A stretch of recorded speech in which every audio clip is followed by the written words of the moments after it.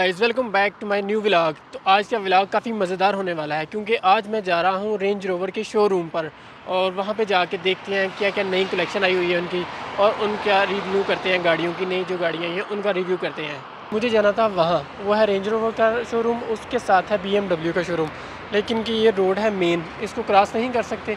इसलिए मुझे यहाँ से यू टर्न लेके आना। तकरीबन तीन किलोमीटर का चक्कर काट के मुझे फिर दोबारा यहाँ आना पड़ेगा।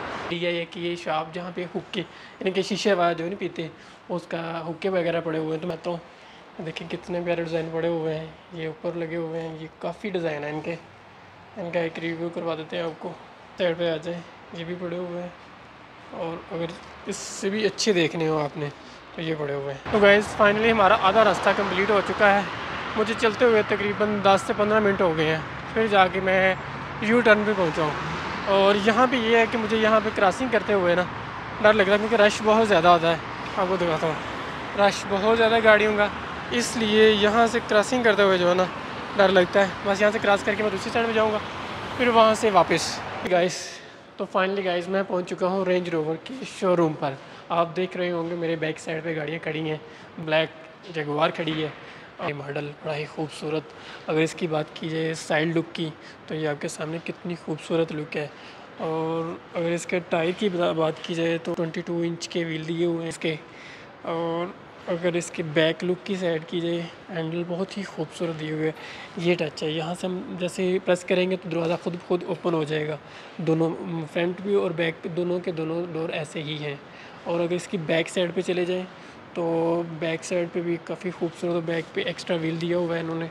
और चार सेंसर लगे हुए एक्स्ट्रा और ये चीज़ बड़ी खूबसूरत लगती है इसकी, ये स्टाइल दिया हुआ ना जो, ये वाला। और एक चीज़ मैं आपको और दिखाता हूँ, आपने देख, शायद आपको एड ये चीज़, ये कैमरा इन्होंने दिया हुआ है शीशे के बिल्कुल नीचे। ये, इसके नीचे भी आपको ना नज़र आता है बैक व्यू भी नज़र आता है, या साइड व्यू नज़र आता है इसके साथ। ओपन करके दिखाया जाए तो मैं आपको अंदर से थोड़ी सी लुक दिखाता हूँ। अंदर से इसके डोर की लुक देखें। डोर पे ये बटन दिए हुए हैं इसके ओपन के लिए। ये जो बटन दिया हुआ है, ये शीशे के लिए है, बाहर वाला शीशा जो उसको सेटिंग के लिए। और अंदर की हैंड बहुत ही खूबसूरत लुक है। और अगर देखा जाए तो इस पर डबल डिस्प्ले दिया हुआ है कि एल दी हुई है। बैटरी आई थिंक ये चार्ज नहीं है, बैटरी बिल्कुल लो दे रहा है। और एक एल ये लगी हुई है। फंडर का एक और मॉडल है, जो मैंने आपको पहले दिखाया, वो ऊपर खड़ा था। उससे भी बेहतर है ये, यानी कि उससे जदीद मॉडल ये वाला है।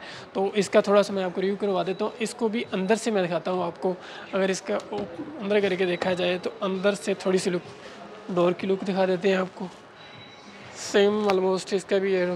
लेकिन थोड़ा सा मटीरियल चेंज है इसका। इसके L E D, L E D ये लगी हुई है इस पर भी। और ये भी यूसुफ भाई के नाम पे आई थिंक ओपन हो रहा है इसका डिस्प्ले ये डोर भी ओपन किया जाए। तो मैं आपको ये भी दिखाता हूँ। ये बैक साइड है। बैक साइड पे भी काफ़ी जगह है। और इसके बैक साइड पे एक सीट और यानी कि बचती है इस पर वो भी मैं दिखा देता हूँ आपको। इसकी जगह काफ़ी है। और इस पर एक चीज़ और मिलती है कि अगर आप बैठे हुए हैं तो आप ख़ुद भी बैठ के एसी की कमियाँ ज़्यादा कर सकते हैं, वॉल्यूम कमियाँ ज़्यादा कर सकते हैं, ये बटन लगे हुए हैं। इसका अगर ये डिज़ाइन देखा जाए तो ये कितना खूबसूरत लग रहा है, ये मटेरियल लगा हुआ है, काफ़ी प्यारा डिज़ाइन है, ये यूनिक सा डिज़ाइन लग रहा है। और इसका टायर देखा जाए तो टायर की ये देखें, अंदर ये आई थिंक ये ऑफ़ रोड के लिए सबसे बेस्ट गाड़ी होगी जो अभी मैंने देखी है ना आज। तो सबसे अच्छी लगी है मुझे गाड़ी, वो ये वाली डिफेंडर लगी है। और अगर इस गाड़ी की प्राइस की बात की जाए डिफेंडर का ये मॉडल जो है, अभी इस टाइम जो डिस्प्ले पे लगा हुआ है, इनके पास जहाँ पे मैं ये देख रहा हूँ रिव्यू कर रहा हूँ तो प्राइस आपको साइड पे भी नज़र आ गई होगी। पाँच लाख फिफ्टीन थाउज़ेंड समथिंग की है। लेकिन अगर यही कन्वर्ट की जाए तो पैसों में आपकी कंट्री में बनेगी तो ये ऑलमोस्ट बनेगी तीन करोड़ नाइन्टी फाइव लाख की, यानी कि चार करोड़ के नज़दीक बनती है। फाइनली हम वीडियो करते हैं क्लोज़ तो जाते जाते मैं एक दफ़ा आपको फिर दोबारा जो जितनी भी गाड़ी खड़ी हैं सब का रिव्यू करवा देता हूँ।